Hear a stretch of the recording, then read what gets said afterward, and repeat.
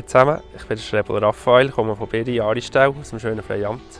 Das ist meine Vigor Varina, Mutters Vater ist ein Eis.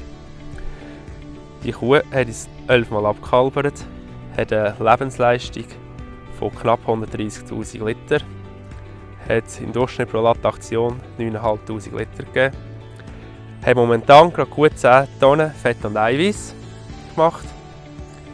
Sie ist vom Charakter her eine sehr gebige Kuh, eine ruhige, eine zahme. Im Stall merkt man sie eigentlich kaum. Eigentlich genau so, wie man eine Kuh will. Und ich glaube, das ist auch das, was unsere, unsere schöne braune Kuh heutzutage auszeichnet.